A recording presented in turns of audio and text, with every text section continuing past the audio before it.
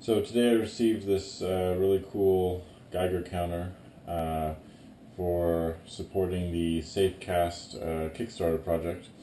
Um, it's essentially a radiation detector.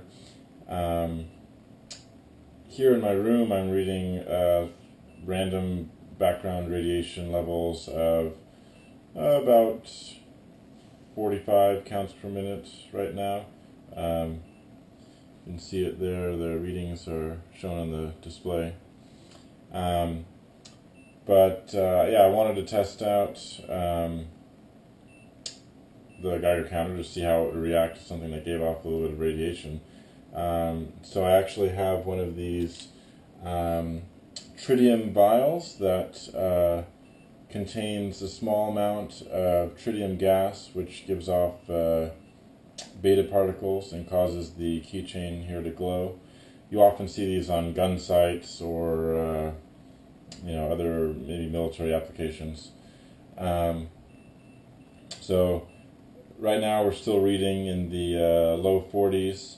Uh, I'm not sure if you can hear the uh, uh, count indicator there that's beeping, but I'm going to go ahead and hold the uh, tritium up to the detector and we'll see uh, what sort of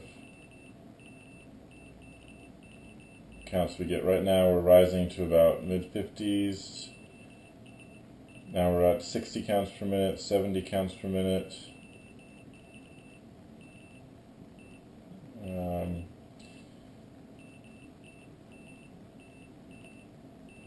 so it's definitely rising. We're about 90 right now course, this is a, just an average over time, so it takes a second for it to really get a, an average reading.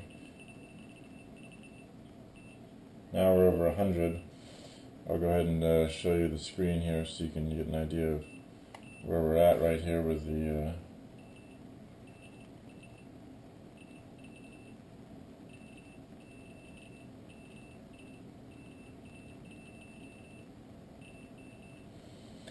So anyways, um, looks like we're at about uh, 135 or so right now.